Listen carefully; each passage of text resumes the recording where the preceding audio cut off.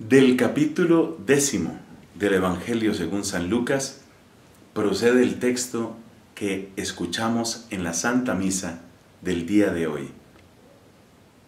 Tiene dos partes.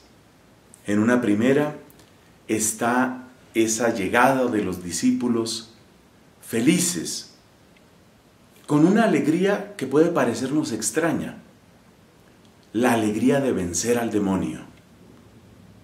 Y Jesús reconoce que hay algo válido, hay algo legítimo en esa alegría. Pero luego Jesús expresa su propia alegría.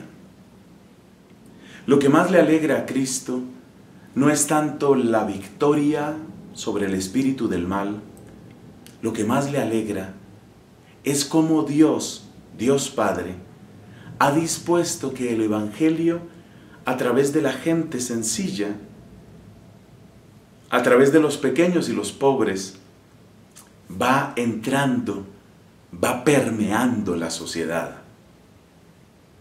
Yo quisiera detenerme un poco en la primera parte, en esa alegría de los discípulos por vencer el mal. Yo he estado en algunas reuniones de oración donde se enfatiza muchísimo ese aspecto, el aspecto de la victoria sobre el demonio. Vamos a vencer a Satanás, vamos a darle una paliza al diablo, vamos a expulsar al espíritu de las tinieblas.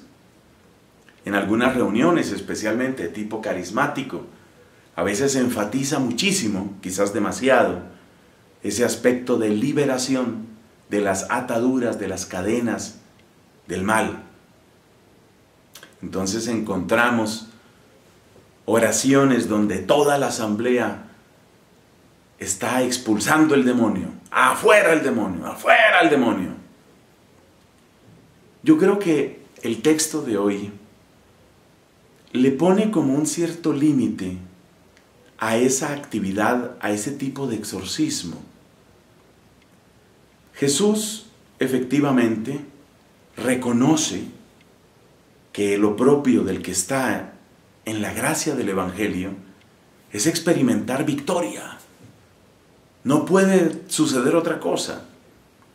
El que está en la luz, el que participa de la luz, necesariamente va a presenciar la derrota de las tinieblas. Pero la atención de Cristo no está tanto en eso. Y yo creo que la comparación con la luz y las tinieblas es útil. Si una habitación está a oscuras y se enciende una luz, obviamente las tinieblas huyen. Pero lo que a mí me interesa no es, ahora ya no hay tinieblas, no hay tinieblas. Lo que me interesa es, esta luz, ¿qué me permite? ¿Cuál es la vida que abre para mí? ¿Cuál es el camino que abre para mí? Es decir, que nuestra atención no se queda en que la muerte está derrotada, sino en cuáles son las riquezas de la nueva vida. Nuestra atención no se queda en que las tinieblas están derrotadas, sino qué es lo que ahora me permite ver esta luz del Señor. Nuestra atención no se queda en que el diablo es un perdedor, sino más bien en cuáles son las grandezas y cuál es la fecundidad del reinado de Jesucristo. Uno tiene que arrancar el mal y uno tiene que plantar el bien.